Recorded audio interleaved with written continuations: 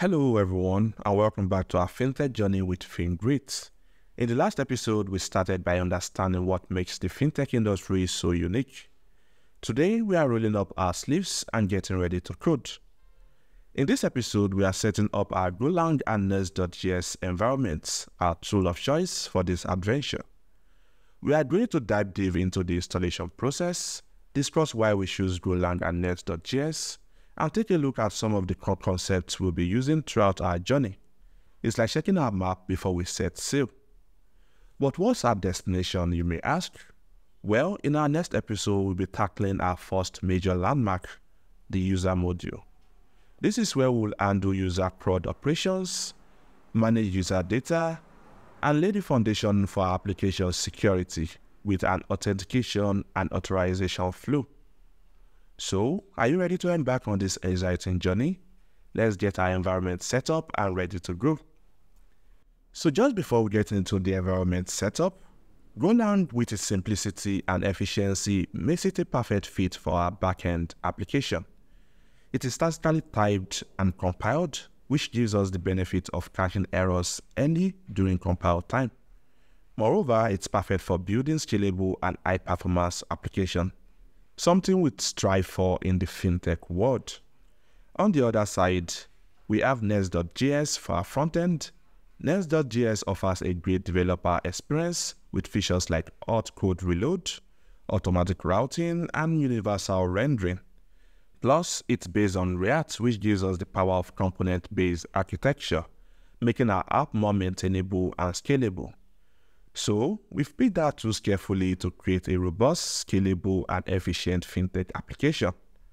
So now with that said, let's get up into the setup. Alright guys, um, our screen is the Go website and this is what it looks like. It looks better than what it used to be when it came out. And all you want to do here if you don't have Go set up yet is to click on the download link. And this is going to take you to a page where you have the list of versions of Go you can install. So depending on your operating system, you can select from all these options. So in my case, I'll be using the Mac OS Silicon version based on my operating system. So I won't be downloading that because I already have it set up, but I'll recommend we do this if we don't have uh, it installed yet. So you can click on whichever your operating system is and it's going to download it. And once it's downloaded, you can click on the file and install it directly. So that's all you need to do there. Then after that, you can click on any of these links to actually learn on Go.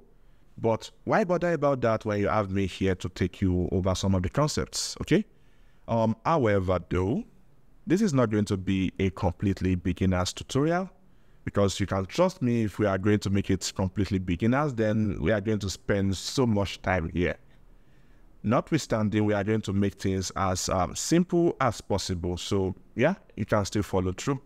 So with that said, by now you have your Go compiler installed. The next thing you want to do is to have a coder. You want to have a code editor. And in this case, I think by now most people are kind of leaning towards the VS Code.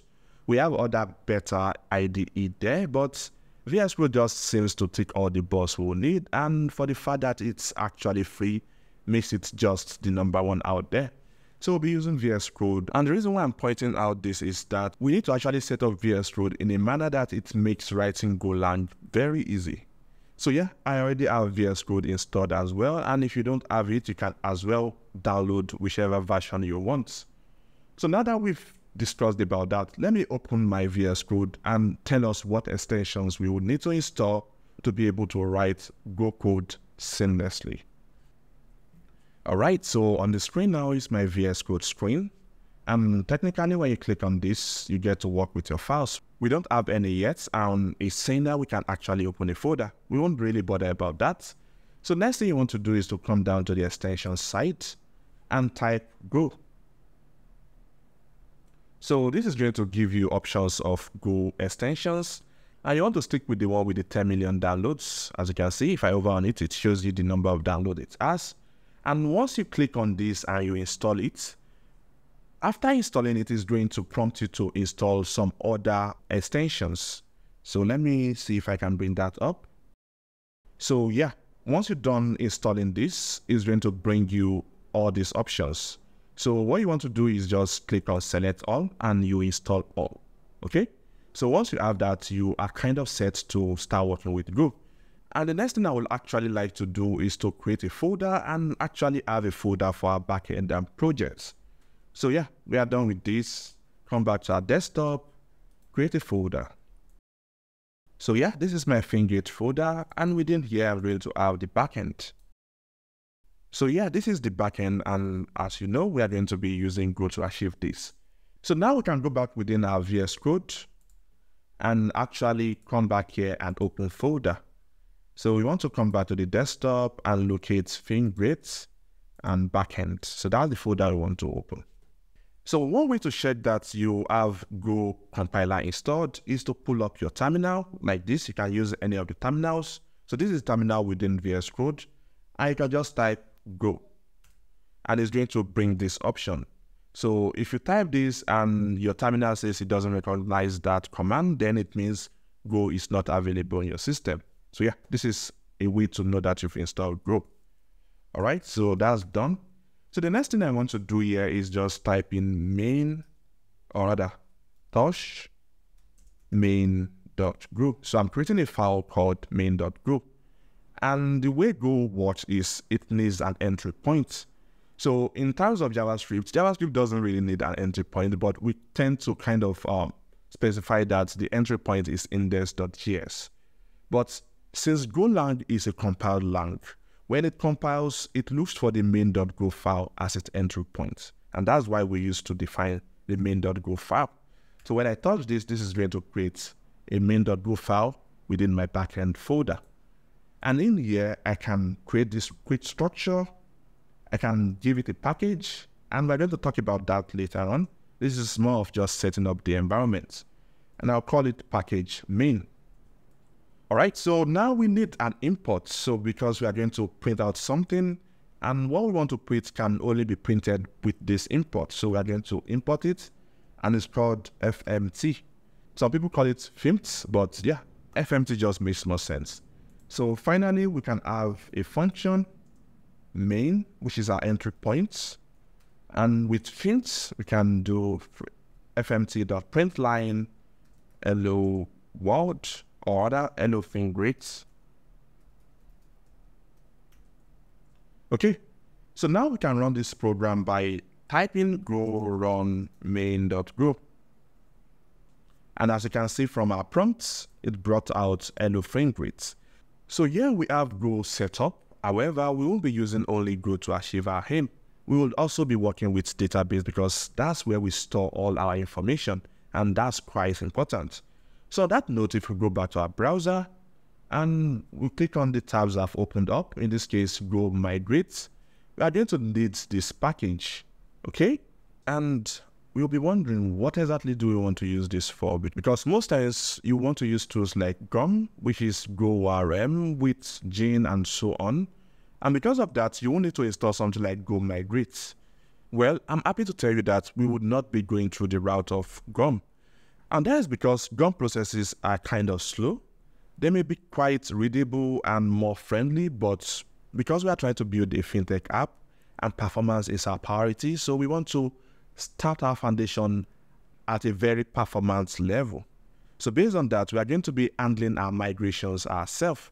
So with this tool, we'll be able to create our migrations, then also make migrations to our databases, okay? And to install migrates, all you have to do is Brew install Golang Migrate for macOS, for Windows. So literally you get to see all the options available to you. So don't bother about trying to cram up the link. You can if you want, but I'll provide the link in the description so you can just copy it and access it. Okay, so that's the first two. And again, to confirm that you have it installed, you can type in migrate and it's going to actually bring out something. So this is telling me that, okay, it recognizes migrates, even though I'm not doing it the right way. So yeah, that's about migrates. Then the next tool on the line is SQLC. So now this is still kind of handling the same situation with GORM. So SQLC is just like you are working with direct SQL, which makes your work so fast, okay? That's the pinnacle of performance. However, you will now have an helper because you don't want to directly work with SQL anyways. It's going to be too tiring. So with SQLC, you can write basic SQLs and you get the necessary codes out of the box. So again, we are going to be using SQLC and you can get started by clicking get started. Also, you will need to install SQLC. And to install SQLC again, you have your options. We have for macOS, we have for Ubuntu, and so on. Okay. So again, you can come back to your code and confirm that you have SQLC installed by typing SQLC. Again, it's going to confirm that this exists. So once we have those installed, I think we are kind of prepared to tackle the Golang aspects for our backend creation. So we are done with Golang. And our next operation now is going to be with our front end. And this is where next.js comes in. So yeah, this is the website of next.js. And I think by now next.js is quite popular and should be quite popular amongst us. So it shouldn't be a big deal explaining what it does. It's a front-end framework based on React.js, okay? So all you need to know now is how to install it and it's quite straightforward. You just copy all this as I'm doing come back to your folder. So now within our FinGreat, I'm actually going to open a terminal here. Then I'll locate my FinGreat directory. Okay, so now we are within the FinGreat directory. So now I can post what I've copied. However, I can still specify the folder name itself. So if you do not specify, it's just going to create something for you, but you can specify the folder name you want to create. And I'll call this front end. Now click yes, and it's going to go through the process. So I'll click yes again. Yes, all true.